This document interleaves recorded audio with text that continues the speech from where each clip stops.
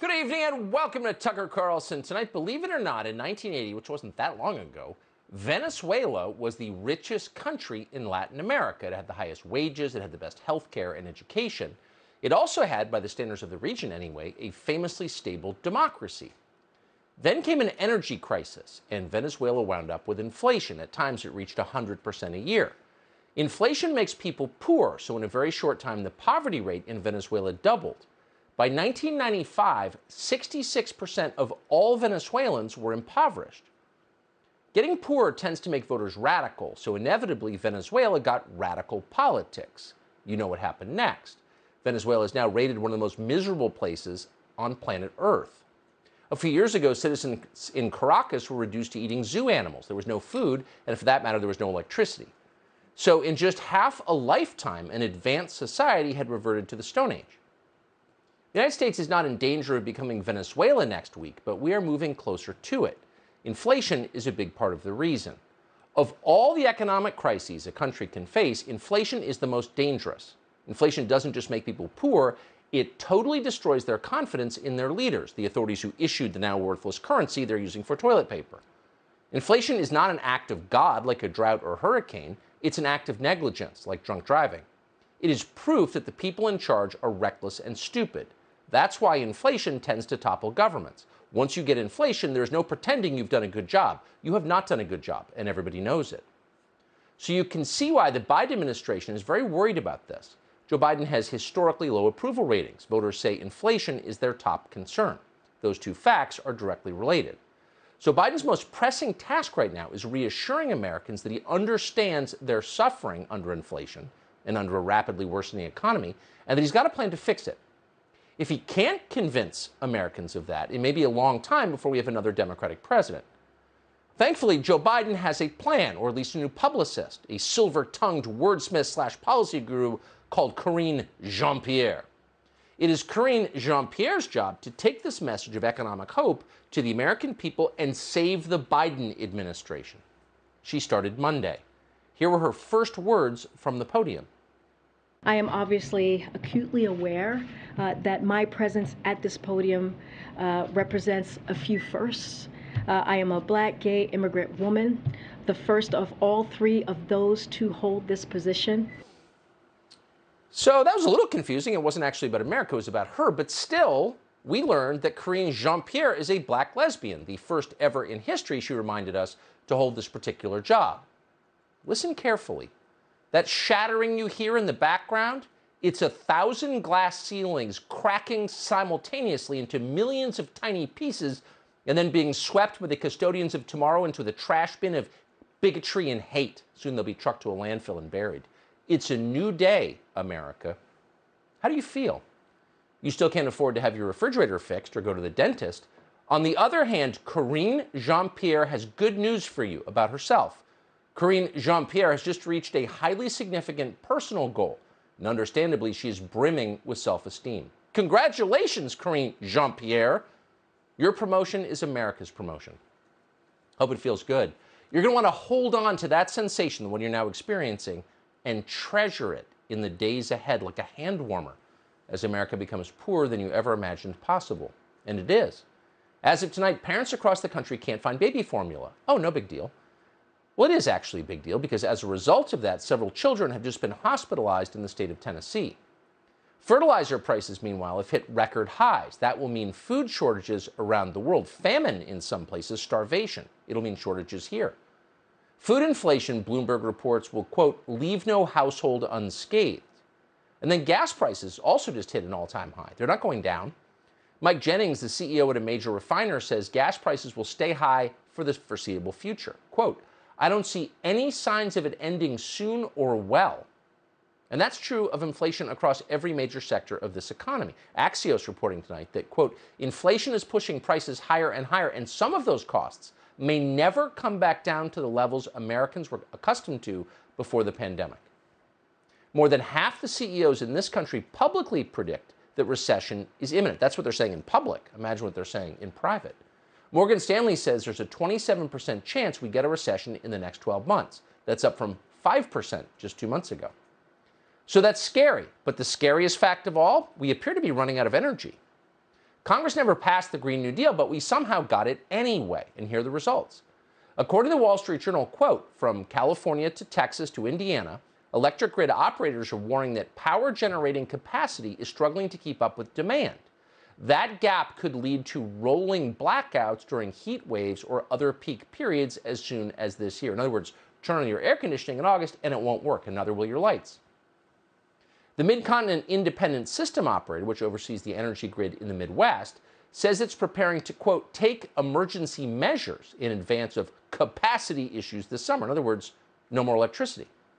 The North American Electric Reliability Corporation, which oversees energy output in the country, released an assessment this year saying the entire western U.S. is, quote, at risk of energy emergencies due to the limited supply of electricity available for transfer.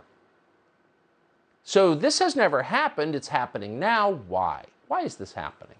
Well, according to the Wall Street Journal, quote, the challenge is that wind and solar farms, which are among the cheapest forms of power generation, don't produce electricity at all times and need large batteries to store their output for later use. Now, that's not only a big problem, it turns out to be an insurmountable problem, given that nearly half of new electricity generation capacity in the US last year, 42%, was from land based wind farms.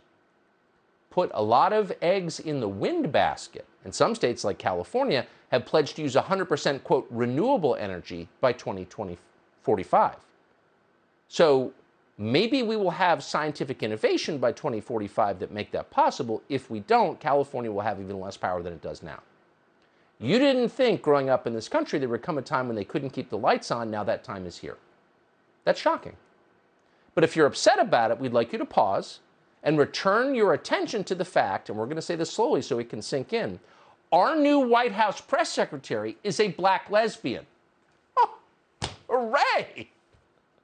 The White House press corps was duly impressed, tamed, in fact, which was the point of telling them that.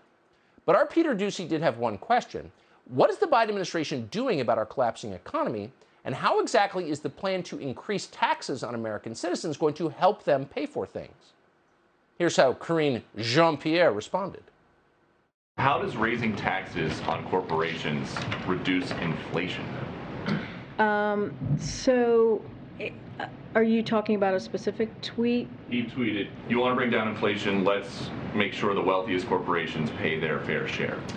Look, you know, we have talked about um, we have talked about this this past year uh, about um, making sure that the wealthiest among us are paying their fair share. But how does raising taxes on corporations lower the cost of gas, the cost of a used car, the cost of food for everyday Americans? So, look, I think we encourage those who have done very well right? Especially those who care about climate change, uh, to support a fair ta- tax code that doesn't change, that doesn't charge manufacturers, workers, cops, builders a higher percentage of their earnings, that the most fortunate people in our nation, and not let this, this that stand in the way of reducing energy costs and fighting this ex- existential problem. If you think about that as an example. Now, you wouldn't have thought it was possible to take talking points that stupid, that barely literate, that childish, and make them even dumber. And yet, that's exactly what she did. Are you still not convinced that Joe Biden knows how to handle inflation? Did that rattle your confidence rather than bolster it? Then honestly, there's nothing we can do for you at this point. You're beyond reach. In fact, you know what you are, and you may have seen this coming? You're a racist. That's what we call people who continue to ask complicated, long questions about Joe Biden's economic program. They're racists, and getting rid of them is America's greatest problem. Here's MSNBC to remind you. Mitch McConnell won't come close to delivering the condemnation of white supremacy that Joe Biden did today. Because what? Because because they make up part of the Republican coalition. I mean, what is the explanation for why not? This is always what the right does to appease the white supremacist movement by saying, hey, free speech. Don't touch uh, speech. Uh, yeah. Extremism and white nationalism, which is not only on the rise in the far dark corners on the internet, uh, but the rhetoric in a you know tamer version, an attenuated version, I say, um, is now pretty mainstream in the Republican Party. Did you hear that from the comb over guy? Free speech is white supremacy, says Chuck Todd. It's white supremacy free speech. Talking out of turn reading your own script rather than the one that Chuck Todd provides you is white supremacy. And that means if you're upset about food shortages or blackouts, you're a racist, racist, racist, racist. There you are complaining again about the precipitous decline in your standard of living. That's always the first sign of a racist. Oh, you don't like crime? You don't like litter? You don't like inflation? You're against public urination in New York City? You know what you are? You're a bigot, pal. Stop complaining. You and your free speech. Gayle King of CBS is a journalist, a talented and highly awarded broadcast journalist, so she knows exactly how racist you are. You're so racist that Gayle King's family members won't even go outside anymore. Watch this. I'm so afraid. I have a nephew who lives in the Midwest, 20 something, black man, who walks his dog, who said, I was never afraid to walk my dog. Now I'm in the Midwest, just walking around minding my own business, thinking this, this could happen at, at any time.